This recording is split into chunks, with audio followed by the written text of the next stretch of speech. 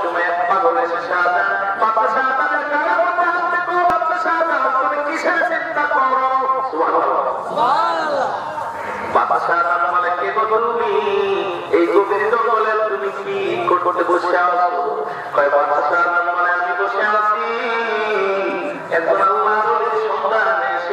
আমার মসজিদ ঠিক করে দিতে পারবে? কয়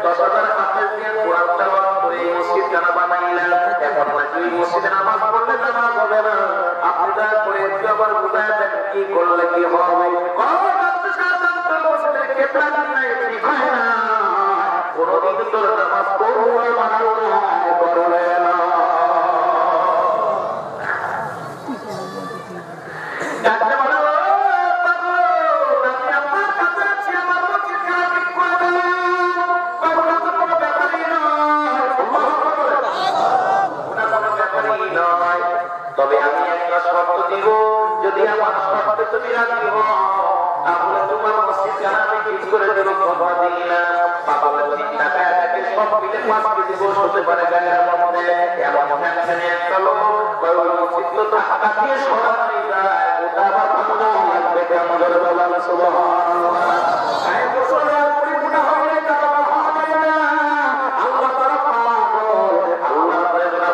গোলামি করে ওই ব্যক্তি যখন আল্লাহ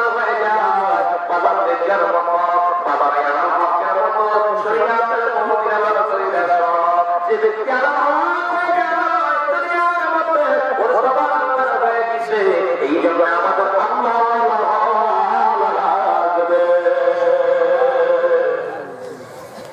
করো যাও তো মসজিদ তো টাকা কি টাকা দিয়ে মাইক দিয়ে লোক বাবা সিটিং করে সিটিং না হয় এ মুসলমান মানে বাবা সাহেব কি দাদা করবেন বলেন? বাবার সাহেব বলেন কি দাদা করবেন বলেন? এইবার বাবা